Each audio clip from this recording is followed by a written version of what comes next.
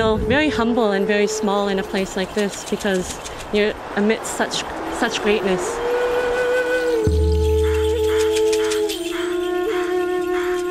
This is the traditional territory of the Ahousaht First Nations, which is where my grandmother comes from.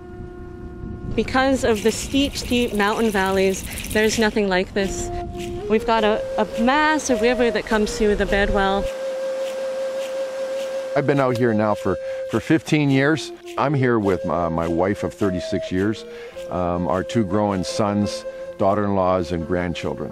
And uh, we came here to create a new life for ourselves.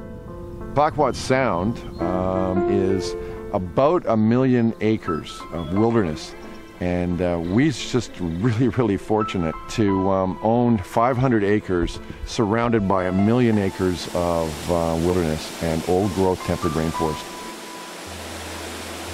If you go up these valleys, there's a lot of very, very spiritual pools, freshwater pools, waterfalls.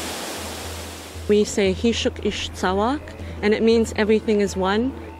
You're connected to the river and you're connected to the ocean. You know, you're very lucky. You're, you're surrounded by giants, you know, giant trees, giant mountains, giant river, and giant ocean. It's all here. We have uh, features here in the forest that you don't see in a lot of places anymore. Um, we have lichen, and it only grows in places where the, the air is um, um, almost pure.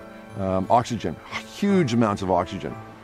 Spiritually, um, I, I, don't think that there's um, a place on, on the planet that I could go and be closer to what we're really about. This is a cathedral for me, and I'm thankful for, for where I am.